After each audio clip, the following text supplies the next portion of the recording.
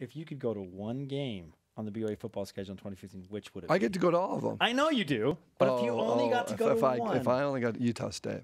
you'd go to Utah State. No, State. I'm just kidding. Oh, I knew that.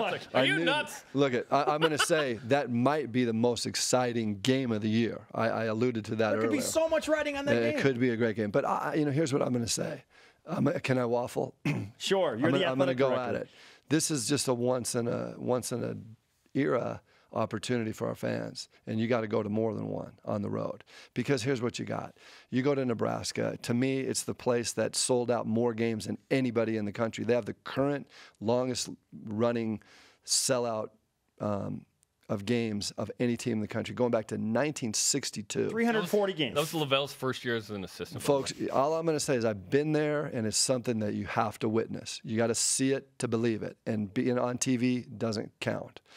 Then, you know, to go down to UCLA and play in the Rose Bowl. If you haven't been to the Rose, it's not the Rose Bowl game, but it's in the Rose Bowl. This is my hometown. My brother played football at UCLA. I got a little bit more on this, so I want to be at that game.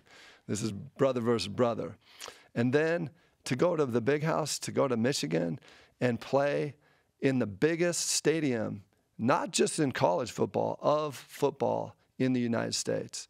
It's the house, the big house at Ann Arbor. I've never been there. So for me, that might be one that's in, intriguing to me, but I will be there.